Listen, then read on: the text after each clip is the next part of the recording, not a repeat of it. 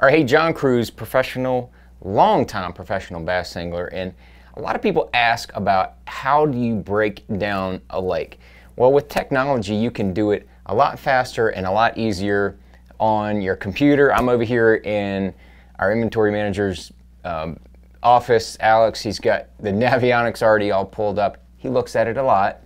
And we're going to go ahead and look at John H. Kerr Reservoir, aka Buggs Island. If you're from Virginia, it's Buggs Island. If you're from North Carolina, it's Kerr Reservoir because John H. Kerr was a senator, I believe it was, state senator from North Carolina that helped get this thing built. That's cool and all, but you want to catch fish on this body of water. It's a big body of water. It's 50,000 acres. That's a big lake. So as you're as you're looking at it, you're thinking, golly, you know, I'm, I'm going to have one day to run down there and poke around, uh, or I'm going to have you know a weekend down there. I, you can't fish all of this in in that kind of time period. So first thing you do on a big body of water is that you cut it into a, a portion. Um, and I remember back in the day going to a, um, a seminar with George Cochran, and he had a really simple philosophy on where to fish bigger bodies of water like this based on the time of year. He said in the spring, in the springtime, he fishes the lower half of the reservoir, which would be closer to the dam here. Uh, so this lower half would be where you'd fish. He said, and then and in the fall, he fishes the upper half. So he would fish, you know, this, the backs. That that in my in my 20 some year career, that has been a very accurate way to kind of dissect a body of water. Now, there, of course, there's always there's always exceptions. Um, you can always do well, um, it, you know, in the lower ends of lakes in the fall, and then in the upper ends of lakes potentially in the spring. But uh, that's just one way to kind of start to break it down. But um, so as you're as you're kind of looking at that philosophy and when you're going to go, let's start in the springtime. We're going to go through the seasons real quick. I'll do an overview on where to go in this body of water, and then we'll get into more specific type places to look for. So in the spring, we're starting spring. Um, in the spring, you've got spawn, uh, pre-spawn, spawn, post-spawn.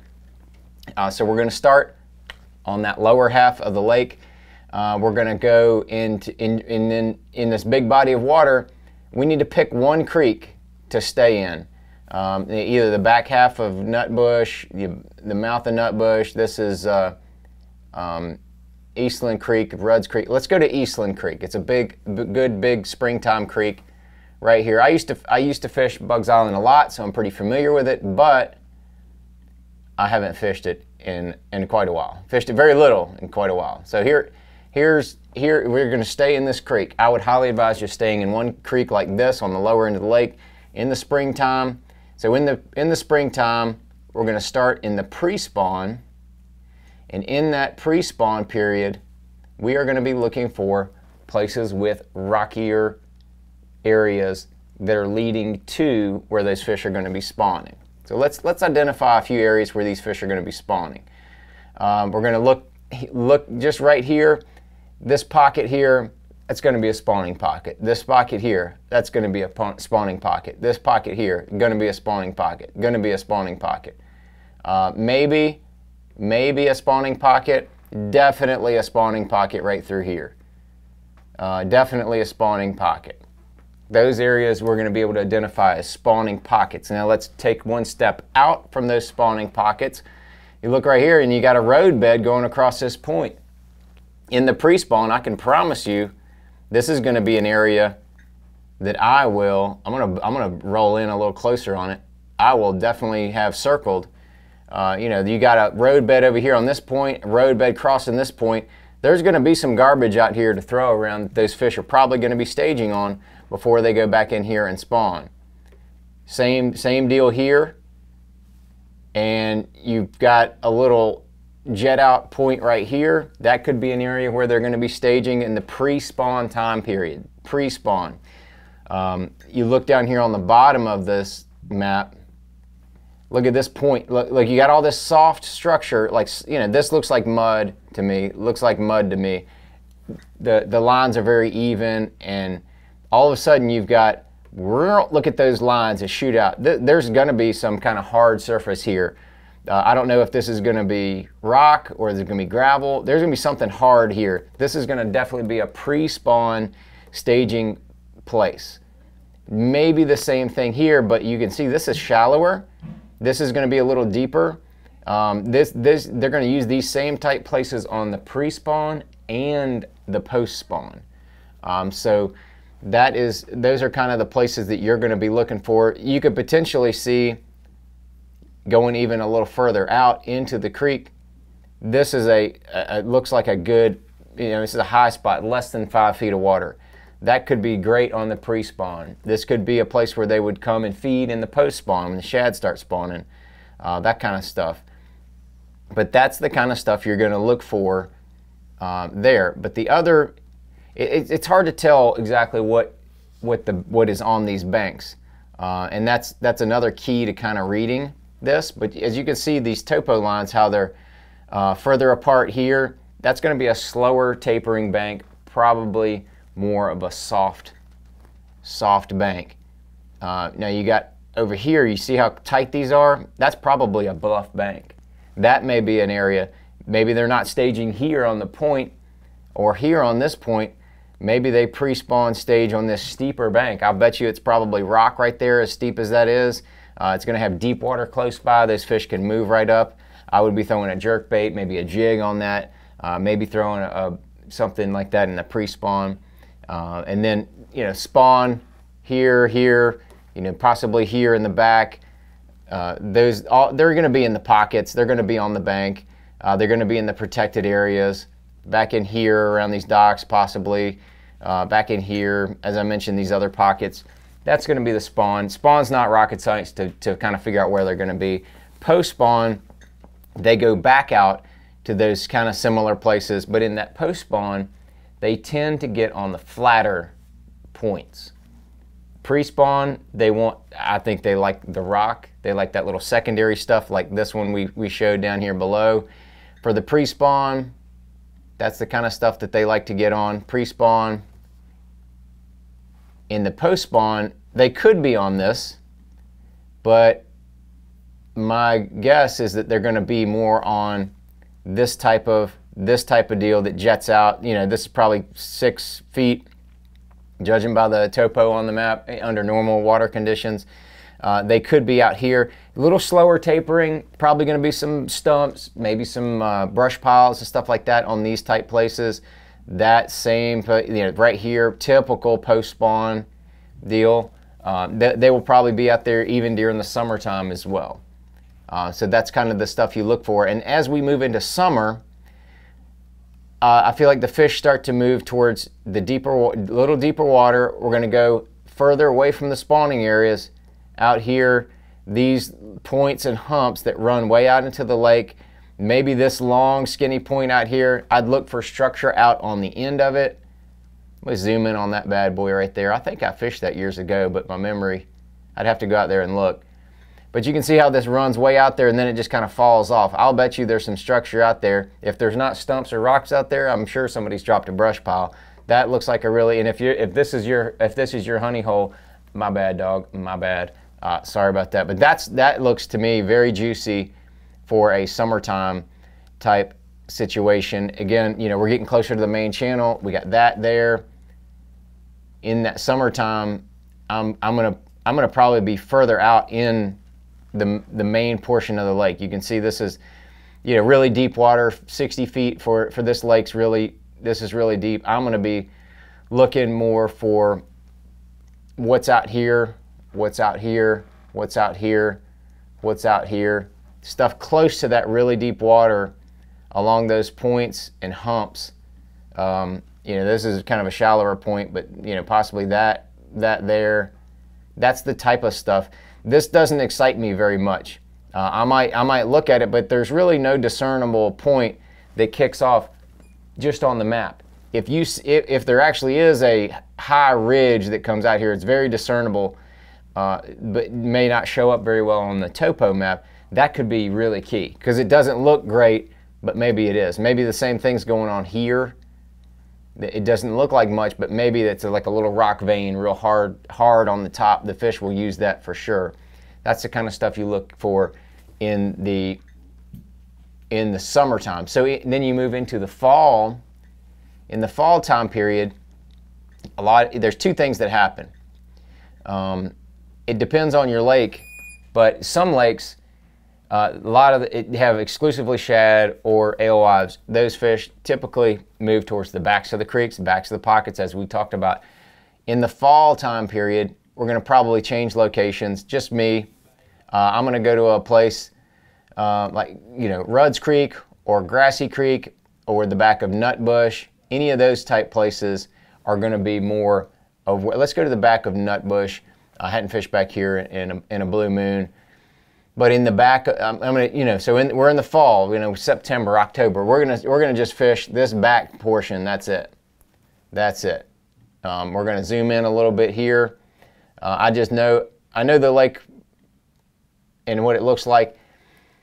The back of Nutbush is flatter, a little bit flatter, but that's fine in the fall. You're gonna be looking in the fall. You're gonna be looking for isolated structure on those on these flats in the back. So you, there still could be some fish deeper. There's always some fish deeper uh, that you could you could catch on this stuff. But if I'm going to another lake that I've never been to before, I, this is the kind of stuff I'm going to be looking for. And uh, honestly, what I would do, some people on the fall they stop and work their way back. In the fall, I'll go as far back as I can go. Like in this this creek here, in Mill Creek, I would go all the way to this bridge if I could get to this bridge, and then I would go all the way back here, and I would start, and then I would work my way out. See, you know, if they're not here in the back, they might be around this bridge. If they're not around this bridge, they might be around these docks staging, waiting for that bait to come past them. Uh, they may be any, around any of these docks, any of these docks. Uh, there's no discernible point or anything right here just to hold them other than that and those docks. I'll, I'll bet you in the fall that probably pretty good right there. Um, but none of this excites me. This steeper stuff usually does not excite me as much. This flatter bank is more promising in the in the fall. Uh, and then the other factor is when you're looking at this is uh, shade lines. In the, so in the, in the afternoon, this bank's going to start to get shaded. Uh, all this is going to be sunny in the middle of the day, all of this. But then in the afternoon, this is going to get shaded and this right here is going to get shaded. So you might be able to run that bank right there with a popper or a whopper plopper or a buzz bait uh, or a shallow running crankbait and, and catch you a couple in that shade line. Uh, and that's something you can, you can see here that you, know, you can translate to later uh, when you get on the water. But that's, that's kind of the fall breakdown. So then we go into winter now in the fall, I mean, you can you can always catch them off. I mean, that's the old railroad trestle there. Um, you know, stuff like that holds fish almost year round. Uh, but in the in the wintertime, a lot of the fish, you know, spring, wintertime and spring was going to move back. I'm going to move back down towards the dam, that section of most lakes that I'm going to be fishing, and then let's just uh, let's see here. Go over here in, in uh, Palmer's, Kimball Point area. And in the wintertime, I'm going to be trying to find isolated rock that's that's deeper. That is that is really key in the wintertime, especially if it's if it's next to something. And there's no bluff banks in this area. I, I mean, I've been there, but as you can see, there's no topo lines that that mash right up against the against the bank. I mean, that's pretty deep right there. That might, that might be a place I would probably look. I mean, you see how these lines go way up in here. There's a chance there could be some rock in there, but probably not. I mean, you see how flat that point is. Uh, maybe, maybe in here. Uh, that looks like it could be a good wintertime area right in there. I'm going to go um, a little bit around here, here's Palmer's. That was Keats Branch I was in. We'll go around here. You know, we got the dam right up here. This is this is this has got a lot of potential for this screams wintertime fishing to me. Right here. I mean, look at this right here. You got all this open water, deep open water. Uh, you got I promise you that's that's bluffy. I'm almost positive that's a bluffy type, bigger bouldery rock. That is like a magnet in the wintertime. I'm going to take a jig, maybe even an A-rig. Um, you can take that kind of stuff. You can see it's the where which way this face. In the morning, you're gonna have the sun coming up over here on the east side. This is gonna be getting a lot of sun in the morning. Could be good early. Also could be good in the afternoon when it's getting a little more shady. You might think wintertime, I, those fish want to be in the warmth, but they also like that hidden shade of, of feeling like they're uh, in cover and that they they'll go feed a little bit more. So so as that sun comes up, it's going to bake on this all day. It's going to warm this up, warm, warm, warm, warm, warm. Then in the afternoon, all of a sudden now you got some shade pockets being created by those rocks and by the sun being on this side.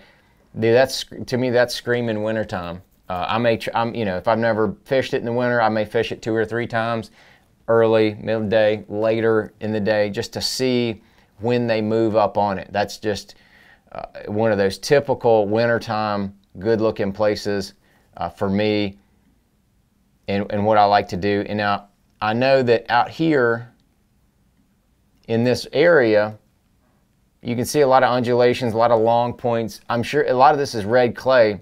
There's rock scattered in through here as well. If I can find isolated rock on any of these kind of points like this, close to the deeper water, any of this kind of stuff, if I can find some rock, that is probably going to be good in the wintertime as well. So, all right, that kind of takes you through how to break down a bigger body of water by looking at the Navionics map. If anybody has any questions or any type of input that they want to help with other people that are trying to break down lakes like this, by all means, drop it down in there. We all want to learn together, and um, it's just it's just so much fun to you know figure something else something else like this on the screen, and then go actually go and apply it on the water. It's a lot of fun.